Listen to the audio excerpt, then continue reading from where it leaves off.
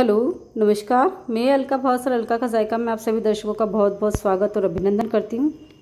आज मैं आपके साथ शेयर करने जा रही हूँ शिमला मिर्च का मिर्ची वड़े की रेसिपी बारिश के सीज़न में आलू बड़ा मिर्ची वड़ा बहुत ही स्वादिष्ट लगते हैं।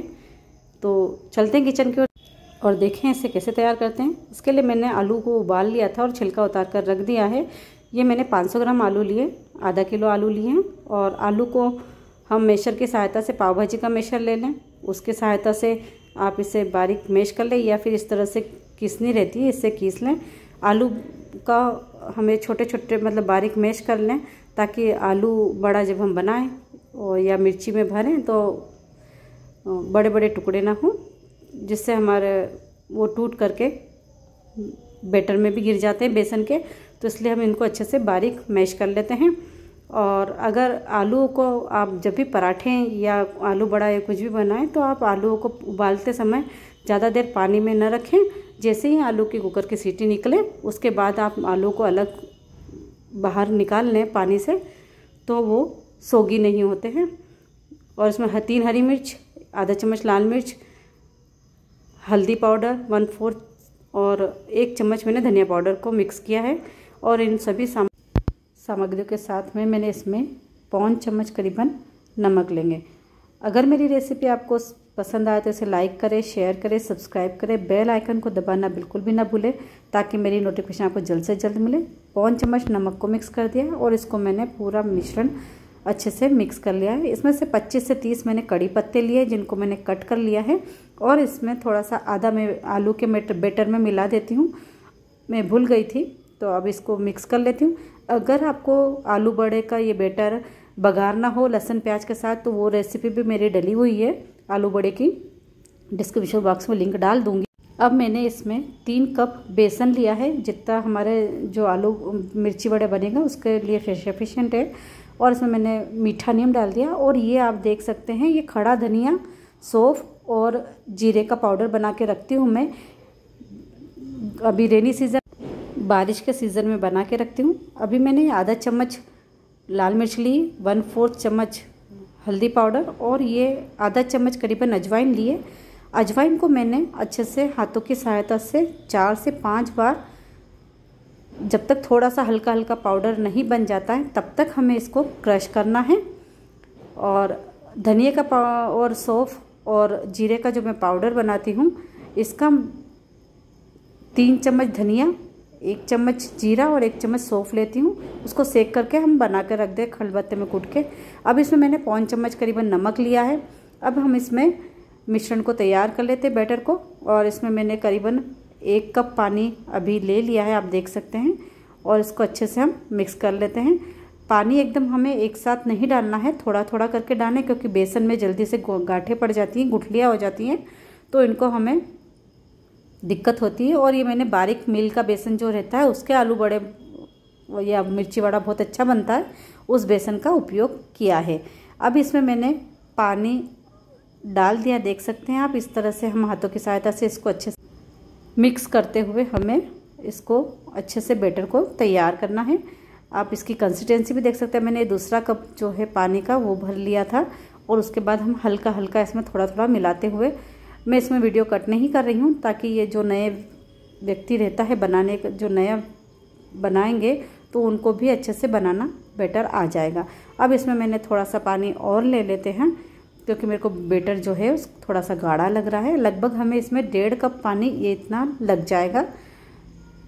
तो ये इस तरह से हम, देखिए आप कंसिस्टेंसी इस तरह से है इसकी कंसिस्टेंसी और इसको आप अच्छे से तैयार कर लें। ये लगभग अभी हमारा बेटर तैयार हो चुका है और इसको हम एक तरफ़ रख देते हैं।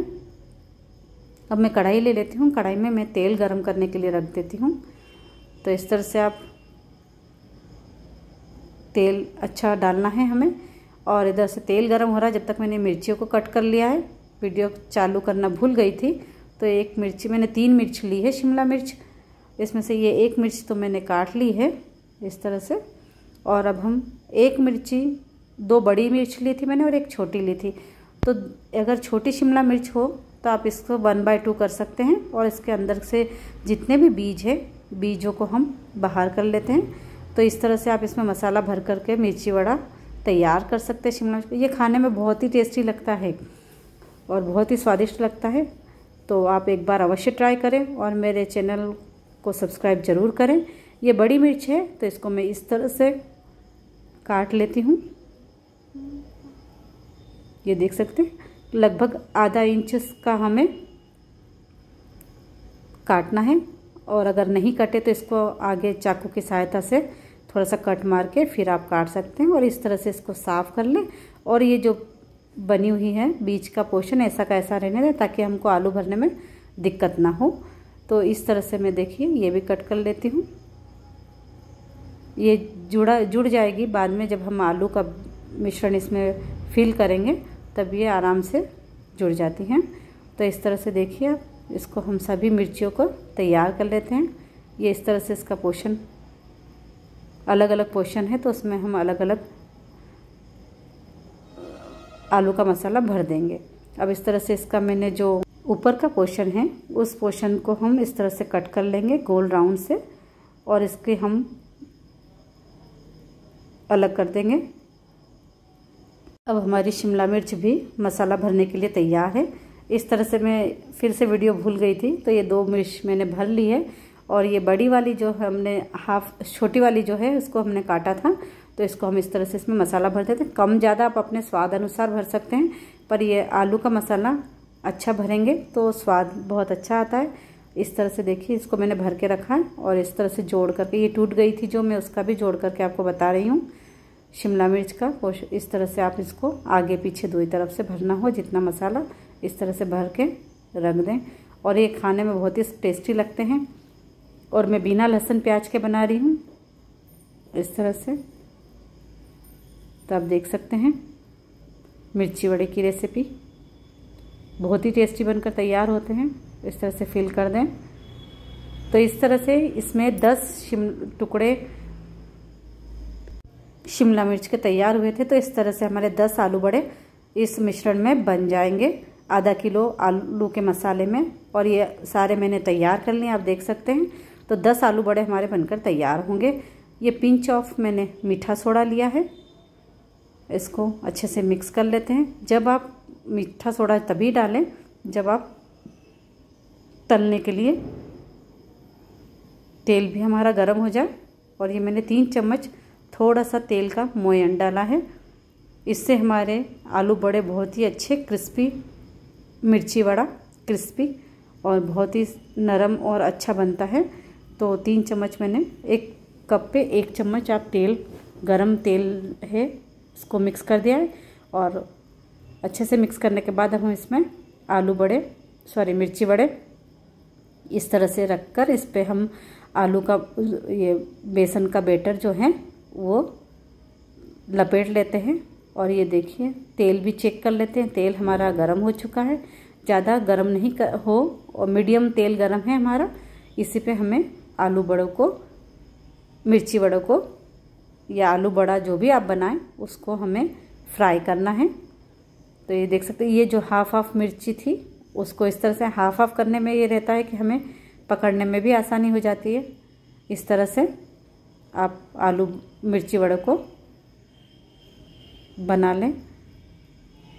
आप चाहे तो वो पीली शिमला मिर्च लंबी रहती है, उनका भी इसी तरह से बना सकते हैं। मिर्ची वड़ा। मुझे शिमला मिर्च के मिर्ची वड़े ज़्यादा पसंद आते हैं तो मैं इस तरह से बनाती हूँ।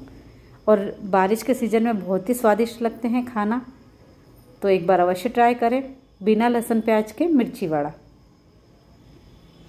अब हमें इसको मीडियम फ्लेम पे ही फ्राई करना है। एकदम हाई फ्लेम पे नहीं करना है, नहीं तो आपका जो बेसन हमने लपे, लपेटा है मिर्ची वड़े पे, वो हमारा कच्चा रह जाएगा। तो इस तरह से पहले तो हमें हिलाना नहीं है, अब इसको देख सकते हैं अब थोड़े से चिपक गए हैं तो इनको मैं अलग अलग कर लेती हूँ और इस तरह से हम इनको पलट देते हैं। तो अलट पलट करते हुए हमने मिर्ची वड़ों को अच्छे से सेकना है। और मिर्ची भी जो है हमें मीडियम फ्लेम पे ही फ्राई करना है, क्योंकि मिर्ची जो है हमारी वो पूरी कच्ची है तो वो अच्छे से इसमें पक जाती है मीडियम फ्लेम पे। और इसी तरह से अगर आप प्याज के भजिए भी खाना पसंद करते हैं तो प्याज की रिंग्स इस तरह से आप काट लें, जैसे मैंने शिमला मिर्च की रिंग्स काटी है, और उसके बाद प्याज की रिंग्स में भी आप आलू का मसाला भर के प्याज के भजिए भी बना सकते हैं। अगर आप प्याज, लहसुन खाना पसंद करते हैं तो प्याज के भजिए भी खाना पसंद करते हैं तो। तो ये हमारे देख सकते हैं। मिर्ची वड़ा बनकर तैयार हो चुका है और इसका कलर भी कितना अच्छा आया। आप इससे पुदीने की चटनी, हरी चटनी या टमाटर सॉस के साथ सर्व करें और ये बहुत ही टेस्टी बनकर तैयार होते हैं। एक बार अवश्य ट्राई करें। ये हमारे मिर्ची वड़ा, शिमला मिर्च का मिर्ची वड़ा तैयार है। थैंक्स फॉर वॉचिंग मिलते हैं इसी तरह की टेस्टी नई रेसिपी के साथ।